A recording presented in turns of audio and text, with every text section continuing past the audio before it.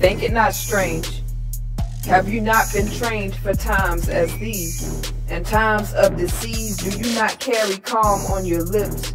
Equipped to speak peace to waves in the midst of storms, you carry the resolve to be reckoned with, for you carry the force of fire, the breath of heaven, the cross of Calvary compacted with no reserve. May resurrection rise up from every corner and every crevice of your being, you mighty representative of Christ. Think it not strange.